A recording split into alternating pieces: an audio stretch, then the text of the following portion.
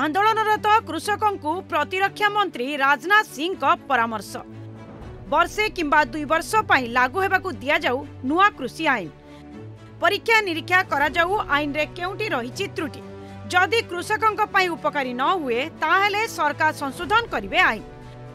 ନୂଆ କୃଷି ଆଇନକୁ ବିରୋଧ କରି ପ୍ରାୟ ଏକ ମାସ ହେବ ଦିଲ୍ଲୀର ବିଭିନ୍ନ ପ୍ରବେଶ ପଥରେ ଦେଶର ବିଭିନ୍ନ କୃଷକ ସଂଗଠନ ଆନ୍ଦୋଳନ ଚଳାଇଥିବା ବେଳେ ସରକାର ପୁଣି ସେମାନଙ୍କ ସହ ଖୋଲା ମନରେ ଆଲୋଚନା କରିବାକୁ ପ୍ରସ୍ତାବ ଦେଇଛନ୍ତି।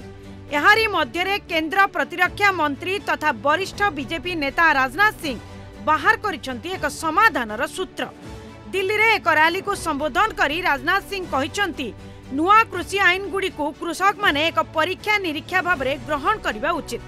ବର୍ଷେ କିମ୍ବା ଦୁଇ ବର୍ଷ ପାଇଁ ଦେଶରେ କୃଷି ଆଇନକୁ ଲାଗୁ କରାଯାଉ।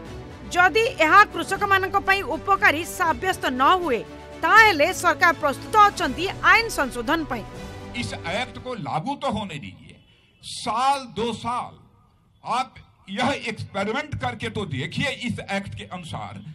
यदि आपको लगे यह किसानों के लिए लाभकारी एक्ट नहीं है तो मैं एक दावे के साथ कह सकता हूँ, जैसा मैं प्रधानमंत्री जी की अपनी नीयत को मैं जानता हूँ, बहनों भाइयों, इसमें जो भी संशोधन आवश्यक होगा, सारा संशोधन करने के लिए हम लोग पूरी तरह से तैयार रहेंगे।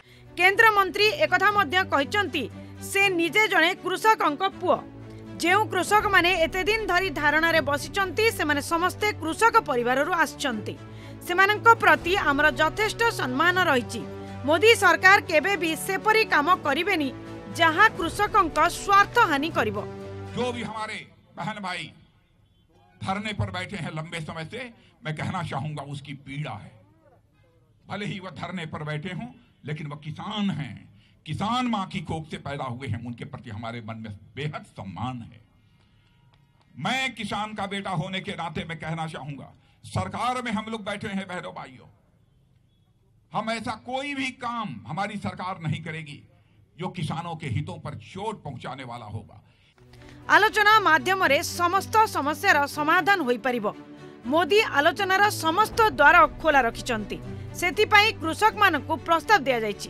କୃଷକ ସଂଗଠନଗୁଡ଼ିକ ଆଲୋଚନା ପାଇଁ ଆଗେଇ ଆସିବା ଉଚିତ ବୋଲି ନିବେଦନ କରିଛନ୍ତି କେନ୍ଦ୍ରମନ୍ତ୍ରୀ Rajnath Singh. Bureau report Argus news.